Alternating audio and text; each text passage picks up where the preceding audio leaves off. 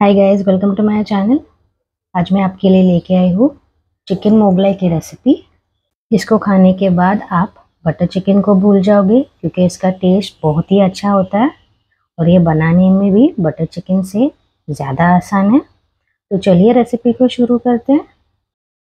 यहाँ पे मैंने लिए है 500 ग्राम चिकन इसमें मैं डाल दूँगी एक टीस्पून नमक, एक टीस्पून काली मिर्चों का पाउडर इसमें जाएगा आधा टीस्पून हल्दी पाउडर। इसको हम चिकन में अच्छी तरह से मिला लेंगे और इसको मैरिनेट करने के लिए रख देंगे 30 मिनट तक। चिकन जब तक मैरिनेट हो रहा है, हम कुछ तैयारियाँ कर लेते हैं हमारी ग्रेवी के लिए। यहाँ पे मैंने एक मिक्सर जार में 15 काजू डाल दिए हैं और इसमें मैं डाल दूँगी पाँच टेबल स्पून दही। इसको हमें फाइन पेस्ट बनाना है। बिल्कुल ऐसे ही आपको पेस्ट बनाना है। यहाँ पे मैंने एक टमाटर को ले लिया है। इसको मैं रफली चॉप करके वही मिक्सर में डाल दूँगी।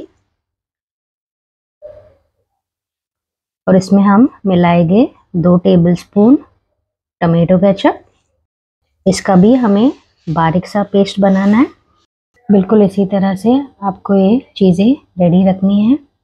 यहाँ पे मैंने एक पैन को फ्लेम पे चढ़ा दिया है। इसमें मैं डाल दूँगी तीन टेबलस्पून तेल। तेल हमारा जैसे ही गर्म हो जाएगा, हम इसमें डाल देंगे एक बारीक कटी हुई प्याज को। और प्याज को हमें लाइट गोल्डन ब्राउन होने तक भूनना है। प्याज जैसे ही लाइट गोल्डन ब्राउन कलर का हो जाएगा, हम इसमें डाल देंगे एक tablespoon ginger garlic paste ginger garlic paste को डालने के बाद हम इसको एक दो मिनट तक चलाते रहेंगे। इसके बाद हम इसमें ऐड कर लेंगे हमारे मैरिनेटेड चिकन को। और चिकन के कलर चेंज होने तक हमें इसको इसमें पकाना है। चिकन का कलर जैसे ही चेंज हो जाएगा, हम इसमें ऐड कर देंगे हमारे टमेटो पेस्ट को।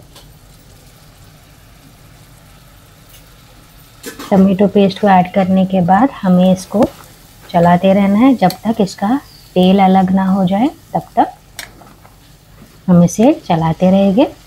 इसको हम कुछ देर तक ढक के पकाएँगे।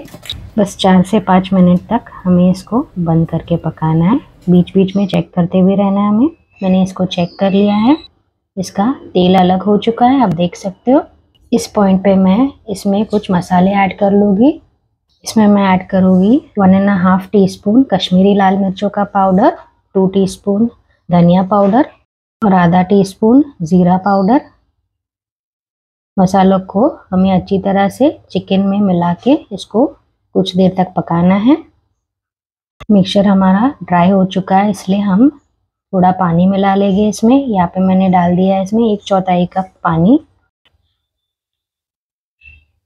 मसाला हमारा अच्छी तरह से पक चुका है।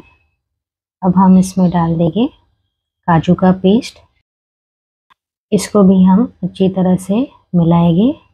और इसको तब तक पकाएँगे जब तक तेल अलग ना हो जाए, तब तक। इससे तेल अलग होने लगा है। आप देख सकते हो कि तेल अलग हो चुका है। अभी हम इसमें डाल देंगे एक कप पानी। और इसका ग्रेवी बना लेंगे। इसको उबाल आने तक हमें इसको पकाना है। उबाल जैसे ही आ जाएगा इसमें। हम इसमें नमक डालेंगे स्वाद अनुसार। अभी हम इसमें डाल देंगे आधा टीस्पून गरम मसाला पाउडर। इसको हम अच्छी तरह से मिला लेंगे ग्रेवी में। और इसको कुछ देर तक ढक के पकाएँगे हम। बस दो तीन मिनट तक हमें इसे पकाना है। ग्रेवी थोड़ा गाढ़ा हो चुका है, आप देख सकते हैं। अभी हम इसमें ऐड कर लेंगे दो टीस्पून कस्तूरी मेथी। यहाँ पे मैंने कस्तूरी मेथी को थोड़ा भून कर इसका पाउडर बना लिया है। इसको अच्छी तरह से मिला लेंगे हम। इसमें हम डाल देंगे तीन मिर्चियाँ। हरी मिर्चियों को मैंने, तीन हरी मिर्चियों को मैंने थोड़ा सा चीरा लगा के इसके ऊपर डाल दिया है मैंने। और यहाँ पे मैं डाल रही हूँ इसमें one tablespoon fresh cream. यहाँ पे मैंने अमूल फ्रेश क्रीम का इस्तेमाल किया है इसमें। ये सब डालने के बाद हम इसको अच्छी तरह से मिला लेंगे। हमारा डिश अभी तैयार हो चुका है। इसको हम गार्निश करेंगे धनिया के पत्तों से। इसको बारीक काट कर मैंने ऊपर से डाल दिया इसमें। तो कैसी लगी आपको ये रेसिपी मुझे कमेंट्स में ज़रूर लिखना। Thank you for watching